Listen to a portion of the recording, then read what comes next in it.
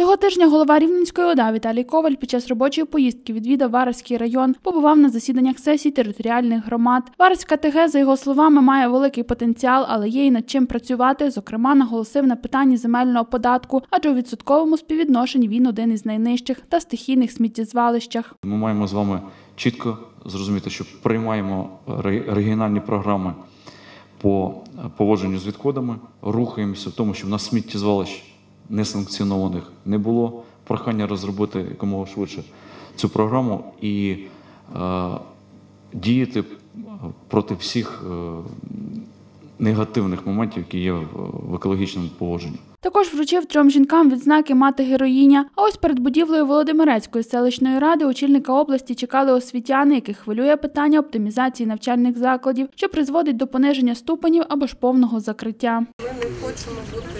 Хочуть батьки нашу школу. як би, продавати. Так.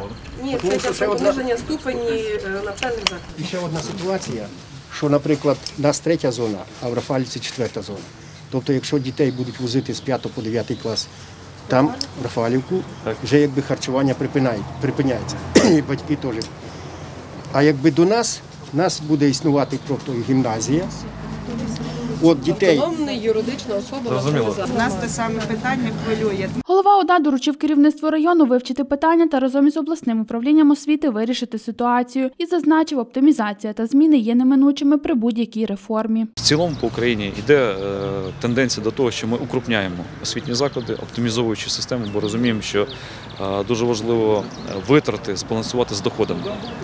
Е, І кожна громада має розуміти, чим більше доходи, тим більше можливості утримувати і соціальну сферу і інші напрямки. А ось вже на засіданні селищної ради звернув увагу депутатів на інвентаризацію невикористаних земель, адже у Варварському районі 46 тисяч гектарів такої землі. Те ж саме стосується і нелегальних АЗС. Давши ефективним е, підприємцям ці землі в обробіток, ви отримуєте дохід.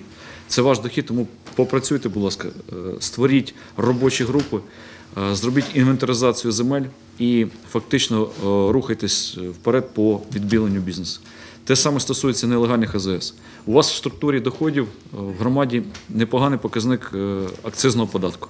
Акцизний податок е, в частині розщеплення йде до громади, і ви за рахунок цих коштів можете співфінансувати інші об'єкти. На сесіях обох громад Віталій Коваль зауважив, для депутатів важливо співпрацювати усім рівням влади від місцевої до центральної, адже тільки тоді вдасться досягти поставлених цілей.